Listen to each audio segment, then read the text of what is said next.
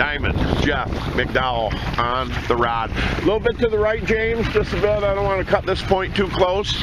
We loaded up heavy uh, on this middle rod position right here, and I've already shifted the rods down here in this side, but we loaded up heavy in the middle position, and uh, now this fish is going way out to the side. I said to Jeff, I think I better grab the video camera because this guy feels heavy. And now you look at the rod, he's all he's crossed all the way over. So here, Brian, what I want you to do, start winding this weight rod in for me till we get to the weight. Go ahead and start winding it. Big fish, here's another. Here, look at this. Simo double right here. Here we go. Just stay right all the way over here to the right, Ad, okay? Jeff, a little bit to your left. Back up, please, Brian. We're going to take this off. We're going to clear the weight rod. Wind it in as quick as you can so that we don't have to uh, we're going to wind that in so that he's not getting in the way. When that comes in, Brian, what I want you to do is take the spoon, hang it in the bridge of the reel, and then put it in the holder, okay? Yep. Jeff, how's this fish feeling? That's the name of the game. Perfect. Keep him coming just like that. Have another run in him, Bill. All right, let's wind down to him. Big boy here. Big boy fish. Wheel to the right, Jimmy. You're fine. You got nothing hanging on that board, so we're going to go right over it. Big giant brown here, Jim. Big giant brown. Wind down on him. Easy, easy. Neutral. Neutral. Beautiful. Stay here, Jeff. Forward. Jimmy, forward. Steer him, steer him across. Wind down. Wind down. Bring him to the center for me. Neutral. Okay, back him up. He's got another line. I got him. Beautiful fish. Look at the size of that toad. Forward, Jimmy. Get her going forward. Just an absolute slammer of a brown, dude. I know, I saw him. what an absolute stud of a brown right there. I mean, he is just an absolute hammer. He crossed all the way over, Jeff, and what he did was he grabbed this inside rod. He came off the port side, but he came over and got the inside rod right there. But here's what uh, here's what I wanted to show everybody. This guy right here, we got that gold perch right there is what that fish hit on. Wheel to the right, Jim. That gold perch is what this tanker brown came on. And of course in the double we had the Sodus Point Buckeye with the silver back. That guy is just an absolute, that is a, just an absolutely beautiful, beautiful brown tanker. He went where he wanted to go, didn't he? Oh, he left. he went from the middle on one side to the inside on the outside. We were clearing rods left and right just to get him in. Good fish, buddy boy. He was running for open waters. But we put a short circuit on his migration. Wasn't that a fantastic fish? I mean, we are having a tremendous season on the South Shore. and We're catching some enormous examples of browns and steelheads and kings in the skinny water. You know, one of the things that uh, fishermen have been asking me, I've been inundated this year with calls regarding how much weight we put in front of our Michigan Stinger spoons off the planer boards when we're fishing in shallow water. Well, here's the answer. We don't put anything in front of them. We're running those spoons bare. There's a myriad of individuals out there that think you've got to put weight in front of that spoon in order to keep it down. Those spoons are designed to run one to three feet down. So when we're putting the boat in four, five, six feet of water and that board spreading in there into three feet of water, you still got the opportunity to get in there with those Michigan Stinger spoons and clear when you're fishing brown trout. Now, that's not to say that there aren't periods of time in the fishery where we're going to add some weight to that. I'm very fond of coming up to a quarter ounce split shot. This little guy right here when the fish start to move out in 10 or 15 feet of water and those fish are down a little bit in the water column, absolutely, we're going to put that and pinch that right in front of the bead chain. So it's seven and a half to eight feet up the line from where the, the, the bait's actually trolling. Now here's the standard weight. I thought I would show this as well. There's the 9 16ths. That's the standard weight that we're putting on the weight rod when we're running 60 feet back clipping this 9 16 weight on and going another 60 to 70 feet back so that we're at 120 or 130 right down the side of the prop wash. Either one of those are going to work. Now, as fish start to go deeper, these brown trout really don't move. Once alewives come in and hit the shoreline, they're going to hang with those alewives and they're going to switch from gobies to that fat-rich bait, or bait source of the alewife. But when the alewives spawn mid-May and they start to move out, follow the alewives because when you follow the alewives, you're going to follow the browns. That's where they're going to be. Many times they're just out in 15 to 30 feet of water and adding a 9 16 or adding something a little bit heavier to the line will get it down. Now, once those fish start to go offshore, you can track them in the top 30 or 40 feet of water all the way out to 200 feet. There's no issue with that. But we switch gears when that happens. And I've got these little plastic cases on board my boat, and I've I've pulled out ahead of time here three weights. In the old days, we called these gib weights. Now they're called deltas.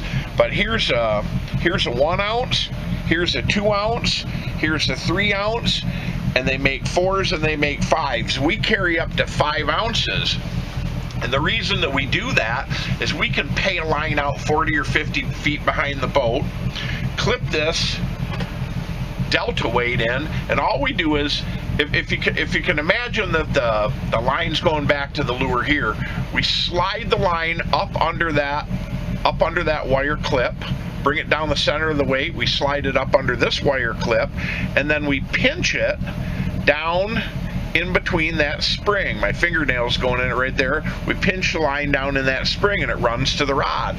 Now, this is the same idea as walleye fishermen have been using for years with the snap weights, but I don't like snap weights for this type of fishing because they're hanging down on a they're hanging down on a beaded chain anytime your lines cross it can get twisted up these things come through the water just like a bullet because they're egg shaped they're they're they're very uh, aerodynamic and they're going to pull through the water simply and there's less they're less obtrusive so you don't have as much to get tangled up on your line.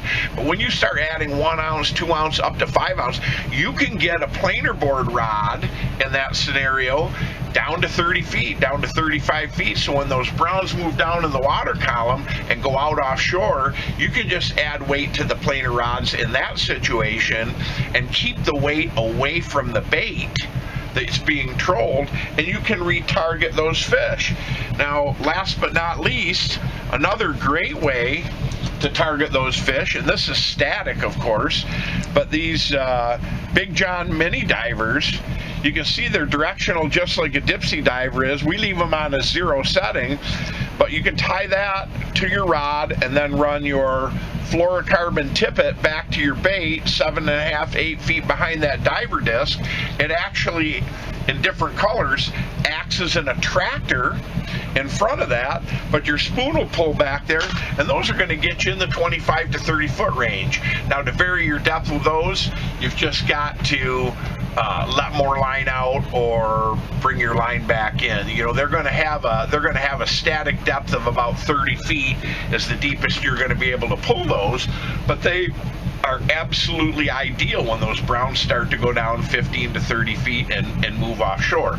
So there's a few different ways that you can add weight and still target those fish as they start to go deeper. But keep this in mind when you're fishing skinny water, run those Michigan Stingers bare. There is absolutely no reason to be putting weight on your line. I've got another monster fish on on the South Shore. Let's go back to the action. Weight rod right here and uh, we're going to take a look at this guy when he gets in here a little bit closer. He's had some pretty heavy weight all the way coming in. Here's another one right here. Boom, boom, boom, boom, boom, boom, boom.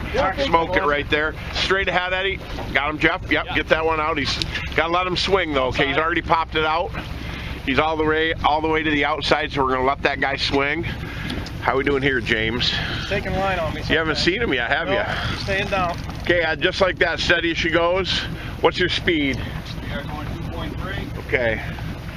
We're gonna watch this guy pretty closely, and I'm hoping that he's on the Michigan Stinger spoon that I think he's on, then we can make a little uh, reference to what we're doing here in the fishing. You can see how uh, deep, deep, almost like a pea soup green the water is here. Better than chocolate brown, but still tough for him to hunt. A little bit to the right, Ed. Got it.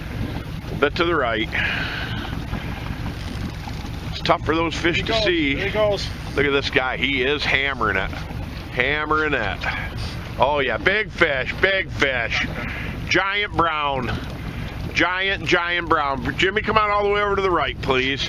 Jeff, you just hang right out there with it? No, no, no we're not. wait. Yeah, we're not close yet. Wind down, Jim. I can't. I can't get any line. Go. Let me see what you got here.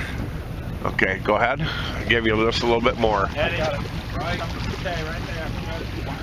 Jimmy. Don't play such a high rod when he's in tight. Big, giant, giant brown. Back right up, back right up, back right up, back right up. And we got him. Look at the size of this dude. Wow, look at that. That is a freaking smasher of a fish. And look at this. Purple. The purple clown. Purple Clown's been such a dynamic lure for us this year. Fall colors, just a dandy. There is that Purple Clown. And look at the kype on this guy. And just such tremendous, tremendous colors on this fish. Uh, Jimmy, give me the sideways pose on that guy. Get him right in the middle. Get him right up. What a what a dandy, dandy, dandy brown. Just beautiful. Testament over the years, how many big fish on weight rods? Oh, that's my favorite is a weight rod. When I come out here, I'm always looking for that weight rod to go because we catch big ones on that. Yeah, he is a smasher. Right in the end of the nose, picking at it, having a hard time finding that in the murky water, but he found it, and we short circuited the migration on this. Absolutely great brown trout. Congratulations, buddy.